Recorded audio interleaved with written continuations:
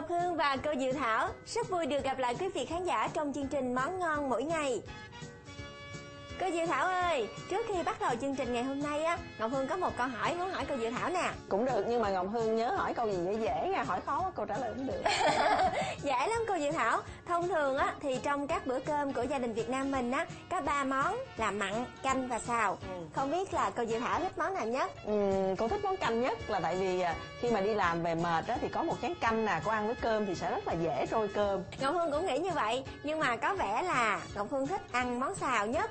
Bởi vì nhìn một dĩa đầu xào nè Nhiều màu sắc, bốc khói Thơm ơi là thơm. Nhìn rất là kích thích đó cô Thảo. Cũng rất là trùng hợp với lại ý nghĩa của cô ngày hôm nay. Hôm nay thì cô định giới thiệu với quý vị khán giả, một món ăn xào. Tại vì với chủ đề là hè ba miền, hè ăn ngon á, thì à, món ăn của chúng ta phải thật là nhiều rau củ nè, vì nó sẽ cung cấp được nhiều vitamin C cho cơ thể. Cho nên là nguyên liệu của ngày hôm nay là những nguyên liệu rất là đặc biệt và cô sẽ sử dụng nguyên liệu chính để xào á, không phải là thịt gà, không phải là thịt heo, không phải là thịt bò, mà là bao tử. Và cô sẽ xào chung với đông cô, chúng ta sẽ thực hiện món bao tử xào đông cô. Nguyên liệu cho món bao tử xào đông cô thì chúng ta sẽ chuẩn bị một cái bao tử khoảng 300 g, 10 tay nấm đông cô ngâm nở, cà rốt, ớt sừng, hành tây và một cọng cần tây, một ít gừng sắc sợi, dầu mè, tỏi băm, bột năng, một chén nước dùng, các loại gia vị thông thường, hạt nêm, nước hầm xương aji ngon và nước tương đậu nành Lisa. Bao tử khi mà quý vị khán giả mua về á, thì đầu tiên á, là chúng ta rửa sơ qua với giấm và cạo sạch bớt cái phần nhớt đi. Kế đó cái giai đoạn này rất là quan trọng nè Ngọc Hương chú ý là chúng ta sẽ đặt một cái chảo lên bếp. Chúng ta để cho chảo thật nóng và kế đó chúng ta cho cái bao tử vào cái chảo cho nó kêu cái xèo một cái và chúng ta trở mặt qua trở lại cho nó lại kêu xèo một cái nữa. Dạ. và chúng ta tiếp tục chà cái bao tử đó sát với cái đáy chảo. Thì như vậy tất cả những cái phần nhớt của bao tử và những cái chất hôi á nó sẽ bám vào cái chảo và nó cũng sẽ bay bớt mất nhưng quý vị khán giả cũng nhớ lưu ý là chúng ta sẽ không làm cho bao tử nó chín quá vì như vậy nó sẽ mất ngon. Kế đó chúng ta lại lấy ra và tiếp tục cạo rửa cho thật sạch một lần nữa với nước ấm. Như vậy là cái bao tử chúng ta sẽ làm rất là sạch sẽ và khi chế biến sẽ không còn những cái mùi hôi nữa. Ừ, Ngọc Hương tin là với những gì mà cô Diệu Thảo vừa hướng dẫn Thì chắc hẳn là quý vị khán giả cũng sẽ biết cách và nắm rất là rõ Để chúng ta có thể sơ chế bao tử làm như thế nào cho món ăn của chúng ta ngon nhất. Ừ. Và để cho món ăn ngon thì chúng ta phải luộc lâu một chút để cho bao tử phải thật là chín mềm. Thường thường là mình luộc khoảng 45 phút là có thể dùng được. Dạ Cô sẽ cắt cái bao tử này ra. Tùy theo ý thích thì chúng ta có thể cắt vuông, cắt dài gì cũng được. Tuy nhiên là chúng ta cắt miếng như thế này để khi mà gấp thì nó sẽ dễ hơn. Dạ Sau khi mà cô đã cắt à, bao tử rồi thì bây giờ cô sẽ ướp gia vị vào một ít tiêu nè, một ít đường và một muỗng rưỡi hạt nêm aji ngon, cho một ít tỏi băm vào. Dạ Đặc biệt là muốn cho cái phần bao tử này được thơm ngon hơn thì cô sẽ ướp vào đây hai muỗng canh nước tương Lisa. Sau cùng thì cô sẽ ướp thêm một ít gừng sắc sợi nữa. Bây giờ cô sẽ cho dầu mè vào. Nấm đông cô này khi mà chúng ta ngâm á, thì nên ngâm với nước vo gạo cho thật sạch. Rồi khi chúng ta luộc thì chúng ta sẽ cho hạt nêm ngon vào và chúng ta luộc với lại hạt nêm thì sẽ làm cho nấm đông cô sẽ thấm gia vị và ngon hơn rất nhiều. Dạ và cô sẽ cho vào trong nồi này khoảng một muỗng cà phê hạt nêm ngon. Chúng ta chờ cho nước sôi thì ngọc hương giúp cho cô trần qua cái phần nấm đông cô này nha. Dạ để em giúp cô Thảo. Ừ. trong khi chờ nước sôi thì à, chúng ta sẽ tiếp tục thực hiện đến những nguyên liệu còn lại. Phần cà rốt chúng ta tỉa hoa như thế này và cắt khoanh.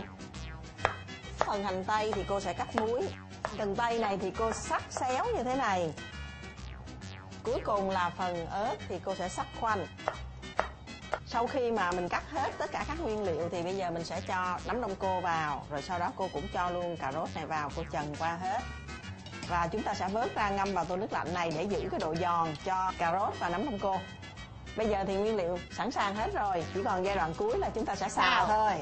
Cô sẽ đặt một cái chảo lên bếp nè bật bếp. Đầu tiên là cô sẽ cho dầu ăn vào. Rồi cô sẽ cho tỏi vào. Kế đó mới đến. Bao tử. Bao tử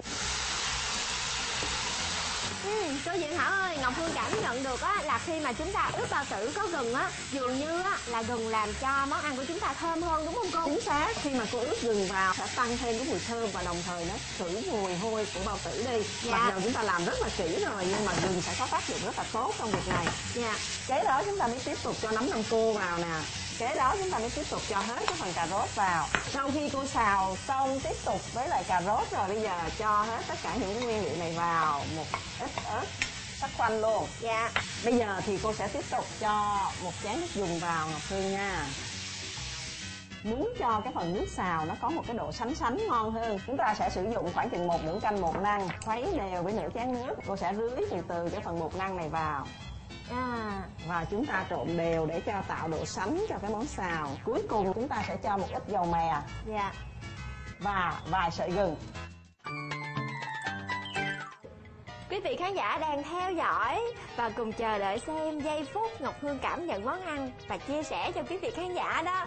cô cũng rất là hồi hộp thử xem ngọc hương cảm nhận món ăn này như thế nào. Cho một cái cọng cần vào để cho nó tươi hơn mời ngọc hương thưởng thức rồi chia sẻ cảm nhận với quý vị khán giả nha Dạ, cảm ơn cô Diệu Thảo. Uhm, phải thử một miếng bao tử trước mới được. Uhm, nóng hổi luôn. Bao tử mềm, thấm gia vị, nấm đông cô cũng thấm gia vị. Còn cần tây á, Ngọc Hương vừa ăn á, còn giòn giòn. Tóm lại Ngọc Hương nói rồi, món xào bao giờ cũng là món khoái khẩu mà. hè ba miền hè ăn ngon